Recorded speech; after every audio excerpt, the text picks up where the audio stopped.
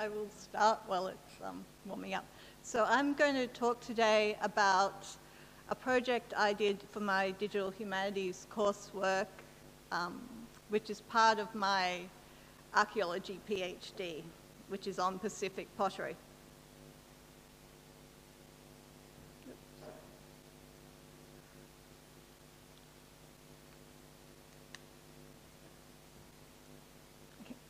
So I really want to stress two points and from this presentation. And one is to get people thinking about if they have models, 3D models, how they could make turn them into fun, interactive websites, preferably in virtual reality.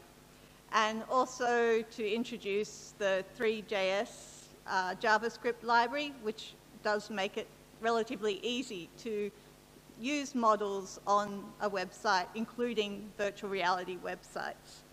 And we're making lots of 3D models in cultural heritage, down from, from tiny seeds to coins to whole villages.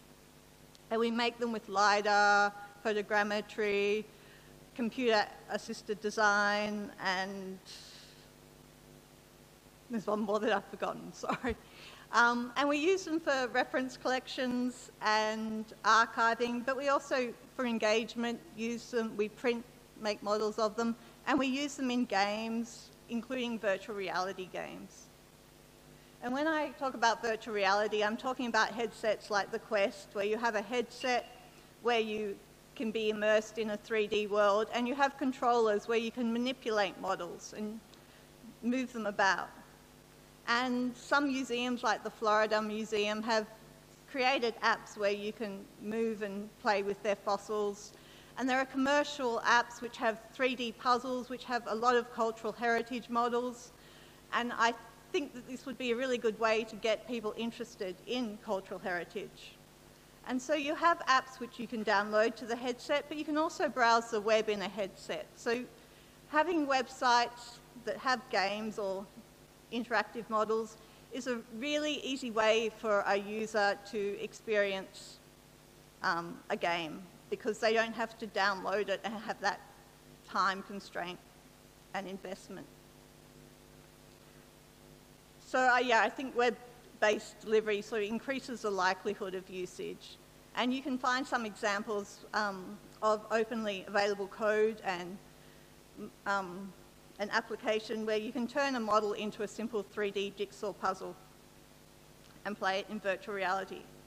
And as I said, the Three.js JavaScript library has, is a JavaScript library that has lots of demonstrations and examples on its page.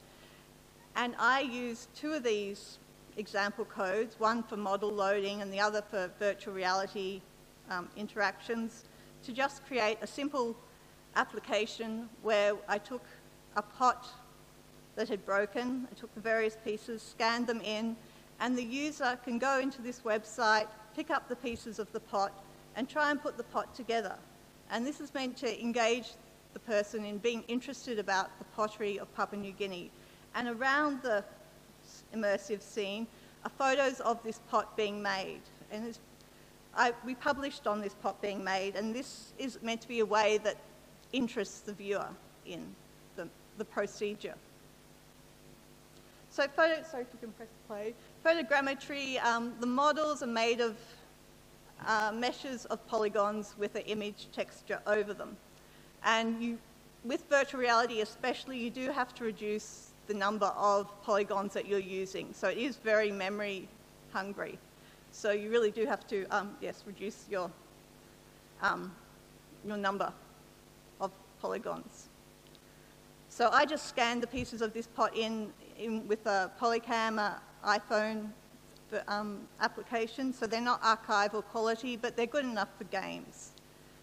And so if you can press play. So this is the app that once you are immersed in this virtual world via a web browser, and you can pick the pieces up from the floor, and then you just start playing around and trying to assemble the pot, and you can see around uh, pictures of the pot being made. So people become interested, and they look at how the pot's made. It is annoying the physics are really bad, so the pieces will overlap, which is something I would like to work on and try and make better.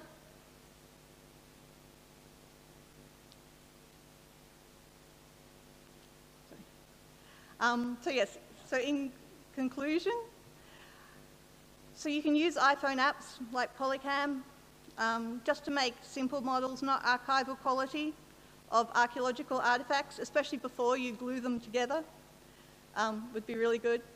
Um, you do have to decrease the number of polygons, especially in virtual reality. It's very um, fussy about your model size, likes GLB models if you're doing that.